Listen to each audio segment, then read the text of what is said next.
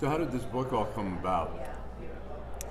This book came about when I was in college. Um, my mother gave me a transcript of my grandmother's history, uh, an oral history that she'd done with uh, an academic at the University of Michigan. Uh-huh.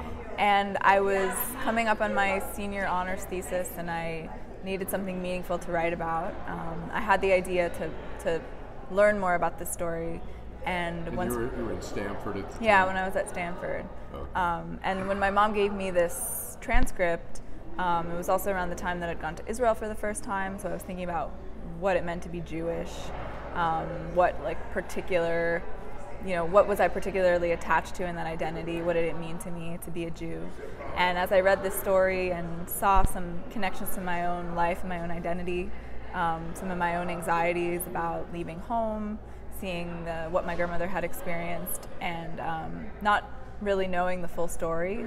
Once I read the full story, it just struck me that this was such a meaningful part of um, my family's history and was And connected to me in an interesting way. So. And you wanted to feel something, what your grandma had felt?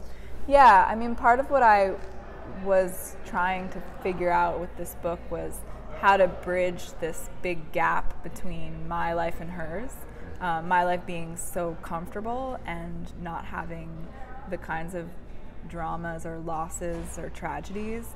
And to think that somebody that I was so close to had experienced something so different from me, uh, that was a hard thing to wrap my head around. And then I also wanted to understand how this experience connected to my own psychology.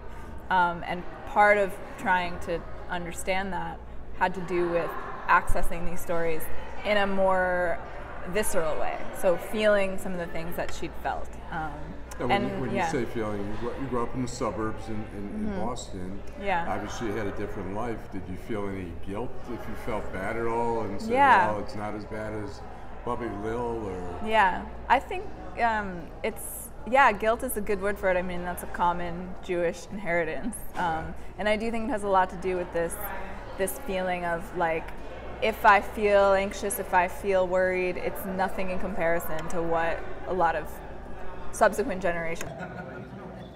So, how do you, how do you feel about uh, being part of the book? How could I not feel to telling a story of my past youth? And I mean, it's exciting. and I didn't remember everything, but it's exciting that's been told.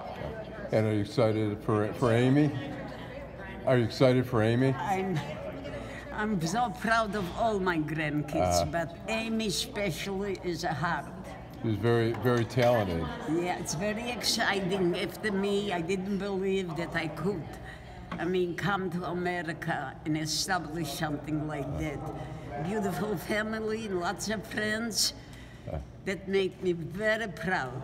And is it nice to have your story of your life in a book? Well, I don't know what's nice. It should be told because everybody had a different story, you know. Right. I saved myself almost alone. Right. I wasn't in the camp, but I was in the ghetto of Warsaw. That was hell. Right. My little sister died on my hand asking for a piece of bread. Yeah. And then I put in a mass grave. Yeah. Well, my mom was the one who gave me this transcript that Bubby had done. Um, and so she was supportive of me wanting to write about this and memorialize it and commemorate the history. Um, I think it was hard for her to, you know, to let me be so public with something so personal. It's not really her approach. I think my generation is more comfortable with that and sees the kind of power of publicizing difficult stories, publicizing personal stories. But I think my mom got on board pretty quickly because she saw um, that it was a meaningful thing to do. And you, you came to Detroit to visit a lot, and, and you saw your grandma. Mm-hmm. Yeah. What, what did you think about your grandma as a kid? I mean, what was she had an Yeah. accent, and she. Yeah, What I- were, your, what were your thoughts? I mean, I, I accepted and loved her, but I did notice obviously that she was, um, you know, different from the like American grandma on TV. I mean, she was um, much more eccentric, and her habits were funny to me. You know, the like putting towels on the floor to cover up the carpet and cover up the furniture, and collecting coins and cans from the side of the road. Like, why would you do that if you have such a nice house to come home to? Those things were always very they just struck me as meaningful and interesting and funny. Like, you know, and I think that humor is part of the way that I think Jews often deal with their traumatic inherited inheritances. And, and Um, how, how long did it take you to put this all together, to, to draw and go through the transcripts and Mm-hmm. Yeah, I Oh. mean, it took a really long time. Um, the whole book from beginning to end was about eight years. Eight years, But. I was doing a lot of other things in the meantime. So, I mean, the first draft took about a year and a half when I was, um, or maybe two years, partly when I was in college and then right after. And, you know, going through the transcripts and drawing and writing. Um, and then after that first draft was done, um, I got serious about putting it into the world and really refining it to be more professional and more sophisticated. Um, and then that was a many years process because my skills had to I had to work on my art skills and my writing skills. Um, so then that's why you know it took many many years before the final book was out in the world. You've, you've had uh, cartoons in the New Yorker. How many have you had now? I've sold 12 cartoons. To the New Yorker? yeah. Oh my God. I think maybe 10 of 10, nine or 10 of them have been published, and Wow. so there's you know a few, and and I'm trying to sell more. So wish me luck with that. Wish you luck. And, and how's the book doing? The book's doing really well. What's the reaction of people to the book? I mean, people seem to love it. They seem to really love Bubby.